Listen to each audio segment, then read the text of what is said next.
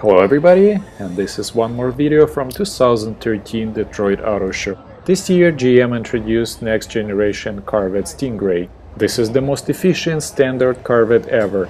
It has an estimated 450 horsepower and 450 foot-pounds of torque. All aluminum frame is 57% stiffer and 99 pounds lighter.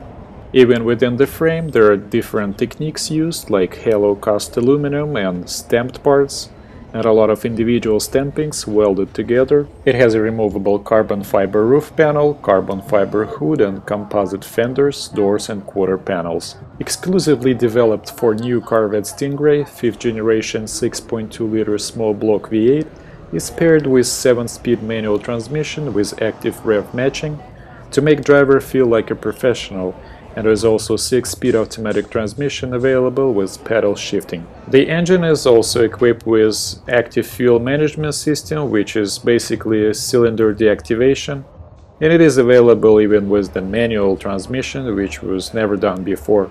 The car you see right now is Z51 with performance package. It has larger wheels and rotors, slatted braking discs with Brembo brakes, unique spoiler on the back specific for Z51, as well as electronic limited slip differential and also differential and transmission cooling. All hand wrap leather, expensive plastic with magnesium bucket seats for the weight loss, and a top speed of 190 miles an hour.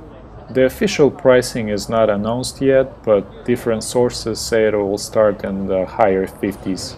The